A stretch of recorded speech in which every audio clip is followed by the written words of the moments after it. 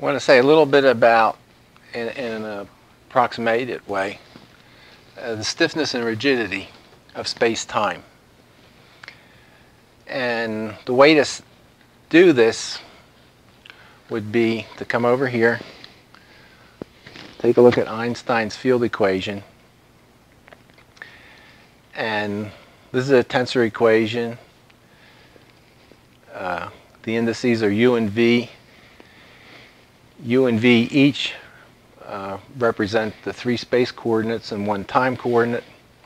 So there are actually a total of 16 equations and uh, some of them are the same so there's really 10 in all to uh, work with. But uh, in a very simplified sense, this side of the equation represents the curvature of space-time and this side over here, especially this quantity here, which is a stress energy momentum tensor, uh, that represents, in a sense, energy and momentum. So what we want to do is write that in a greatly simplified form. And the way we would do that would be, we come back over here and we would say the curvature of space-time in some approximate general sense is equal to that constant 8 pi g, 8 pi times the gravitational constant divided by c to the fourth, the speed of light to the fourth power.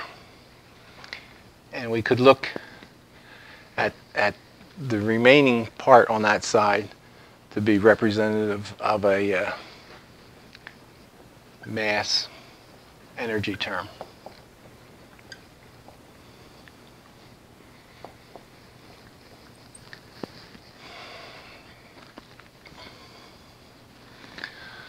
So in order to get an idea of how rigid or stiff space-time is, we want to take a look at this constant here because what it's telling us is this mass energy term times this is what will give uh, curvature to space-time. So 8 pi times the gravitational constant over c to the fourth will be equal to 8 pi times the gravitational constant 6.672 times 10 to the minus 11th and that's in units of uh, Newton meter minus 2 kilogram minus 1 divided by c to the 4, so roughly 3.0 times 10 to the 8th meters per second to the fourth power. And if that, if you work that out, you can see it's going to be a very small number because of the speed of light in the uh, denominator.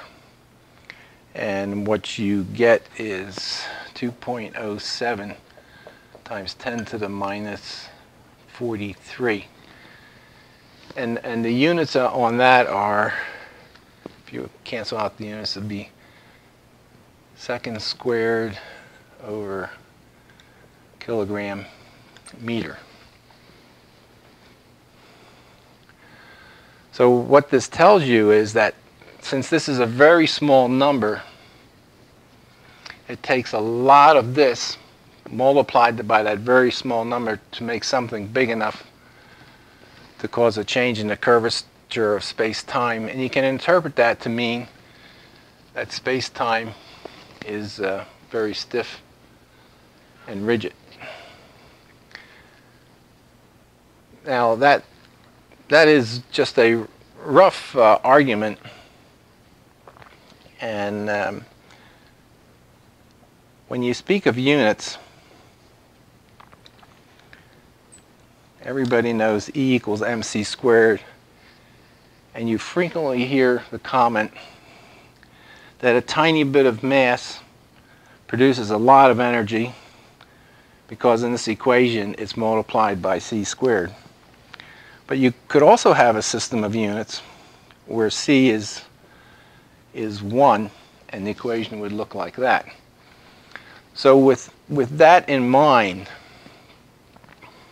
we came up with this number, and we have to th- think of that uh, rather cautiously because of the way we can change units around. But still, it does give you a pretty good idea that the curvature of space-time needs a lot of something to cause a curvature in that space-time. And that constant 8 pi g over c to the fourth works out to uh, that value.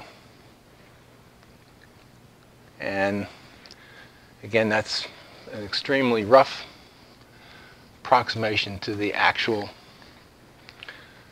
Einstein equation in general relativity.